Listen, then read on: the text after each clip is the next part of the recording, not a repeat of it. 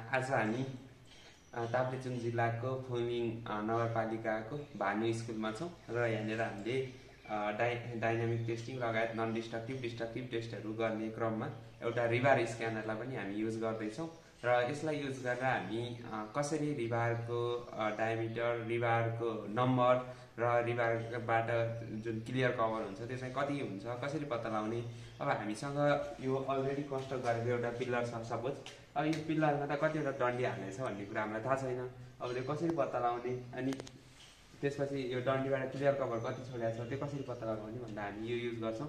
योबाट total hundred percent accurate data चाहिँ आउँदैन तर नम्बर अफ रिभार चाहिँ एकदम एकुरेट आउँछ भने त्यसको डायमिटरहरू क्लियर कभर चाहिँ त्यति धेरै एकुरेट हुँदैन बट हामी एप्रोक्सिमेट डाटा चाहिँ थाहा पाउन सक्छौँ। त्यसको लागि हामीसँग यो रिभार स्क्यानर छ र अब यसलाई चाहिँ हामी सुरुमा पावर अन गरौँ। है यो पावर अन भइसकेको छ।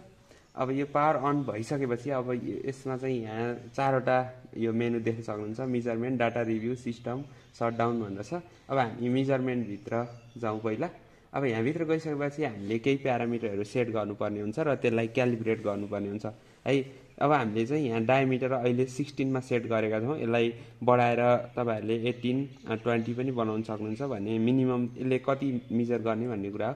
जस्तै बाह्र सेट गर्न पनि सक्यो। अहिले मैले सोह्र सेट गरेँ। अब तल गइसकेपछि अब स्पेस छ। स्पेसलाई अहिले लेस देन एक सय पच्चिस राखौँ। र अब त्यसको लागि हामी अब क्यालिब्रेट गर्छौँ। क्यालिब्रेट गर्दा यहाँ मेटालिक भन्दा अलिकति नन म्याग्नेटिक फिल्डमा हामी यता राखेर यसरी क्यालिब्रेट गर्छौँ।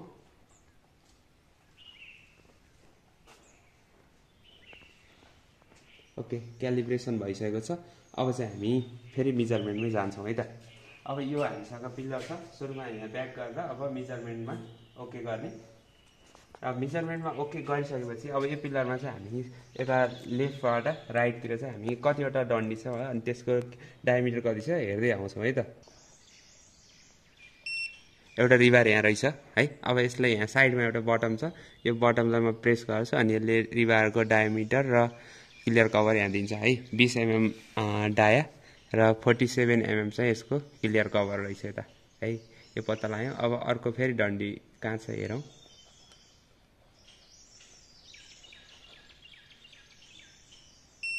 ओके अर्को यहाँ रहेछ सेकेन्ड डन्डी। अब यसलाई फेरि हामी टे टेस्टिङ गरौँ।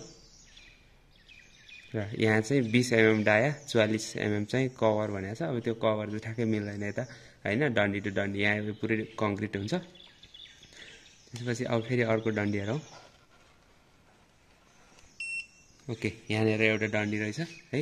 अब यसलाई पनि मिजर गरौँ। यहाँ बत्तिसको डन्डी देखाएको छ।